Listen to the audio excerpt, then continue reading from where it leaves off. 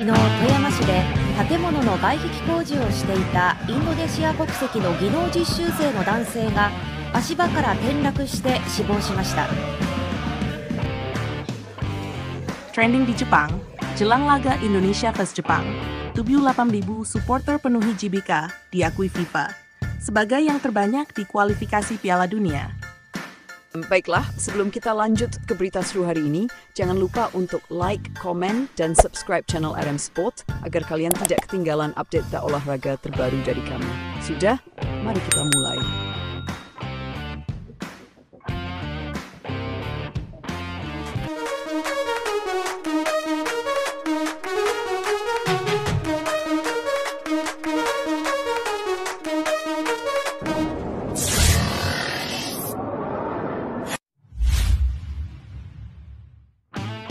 Jakarta, euforia luar biasa tengah dirasakan para pencinta sepak bola, khususnya di Asia, jelang pertandingan seru antara Indonesia dan Jepang dalam lanjutan kualifikasi Piala Dunia.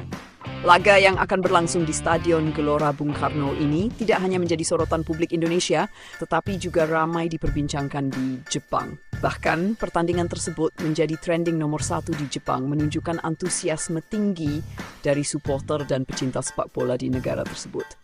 Dengan dukungan penuh dari supporter tanah air, Stadion GBK akan menjadi saksi sejarah baru dalam dunia sepak bola Asia. Menurut data resmi dari FIFA, sebanyak 78.000 supporter diprediksi akan memadati GBK pada pertandingan ini, menjadikannya sebagai jumlah penonton terbanyak dalam sejarah kualifikasi Piala Dunia 2026 untuk wilayah Asia. Rekor ini pun secara resmi diakui oleh FIFA uh, sebagai yang tertinggi dalam fase kualifikasi Piala Dunia yang sedang berlangsung. Antusiasme besar dari kedua negaranya pendukung Indonesia yang penuh semangat menyambut laga ini, tetapi penggemar sepak bola di Jepang juga turut menunjukkan ketertarikan besar mereka. Tagar dan berita terkait pertandingan ini merajai media sosial Jepang sejak beberapa hari terakhir dan menjadi trending topik. Banyak penggemar Jepang yang mengungkapkan rasa penasaran mereka terhadap atmosfer GBK yang terkenal bergemuruh dengan suara nyanyian dan dukungan luar biasa dari supporter Indonesia. Selain itu, media-media olahraga di Jepang memberikan perhatian khusus pada pertandingan ini, mengingat betapa krusialnya laga tersebut bagi peluang kedua tim untuk melangkah lebih jauh di babak kualifikasi. Jepang, yang memiliki sejarah panjang di dunia sepak bola Asia dan pernah berlaga di Piala Dunia beberapa kali, datang dengan tekad kuat untuk memenangkan pertandingan. Namun, dukungan besar dari supporter Indonesia membuat mereka sadar bahwa laga di JBK tidak akan mudah. Dukungan 78.000 supporter di JBK diakui oleh FIFA. Rekor jumlah penonton di GBK kali ini juga menjadi perhatian khusus dari FIFA. Dengan kapasitas stadion yang mampu menampung 80.000 penonton, diprediksi akan ada 70.000 orang yang hadir untuk mendukung timnas Indonesia. FIFA mencatat jumlah ini sebagai yang terbesar dalam kualifikasi Piala Dunia 2026 sejauh ini. Diakui secara resmi oleh FIFA, angka ini mencerminkan semangat dan antusiasme luar biasa dari para pendukung Indonesia yang selalu setia mendukung Garuda di setiap kesempatan. Hal ini tidak hanya menjadi kebanggaan bagi Indonesia, tetapi juga menjadi inspirasi bagi negara-negara lain di Asia untuk lebih mengapresiasi dan mendukung timnas mereka. Supporter yang hadir pun datang dari berbagai daerah di Indonesia, dengan banyak di antaranya rela menempuh perjalanan jauh demi menyaksikan pertandingan ini secara langsung.